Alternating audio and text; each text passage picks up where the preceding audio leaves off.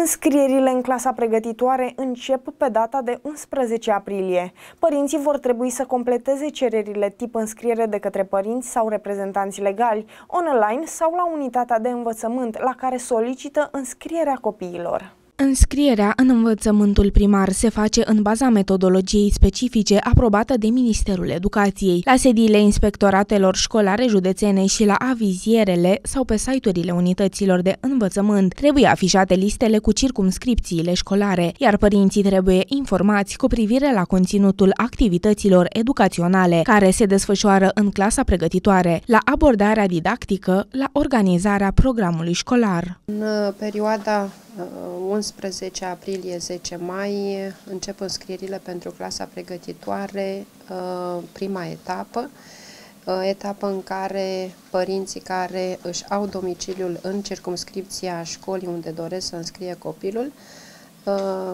se deplasează la unitatea de învățământ de care aparțin și depun cererea tip de înscriere, Uh, pe care o găsesc la școală sau pe uh, site-ul inspectoratului școlar, însoțită de uh, documente care atestă domiciliul, certificatul de naștere al copilului, um,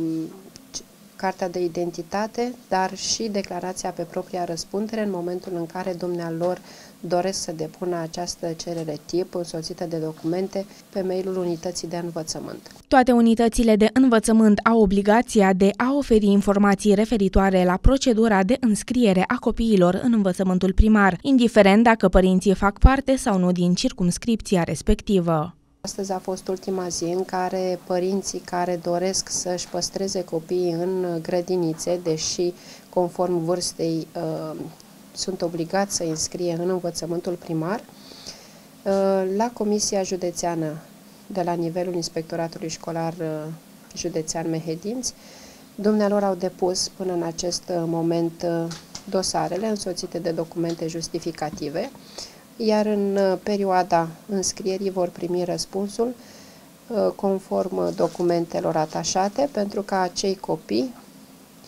uh, din cauza bolilor cronice sau altor impedimente, rămân în grupa mare la grădiniță. După ce părinții se vor, își vor înscrie copiii în clasa pregătitoare, Urmează procesarea acestor cereri și afișarea la nivelul unităților de învățământ a listelor cu copii care uh, s-au înscris până în acel moment, stabilindu-se după aceea locurile libere rămase pentru cei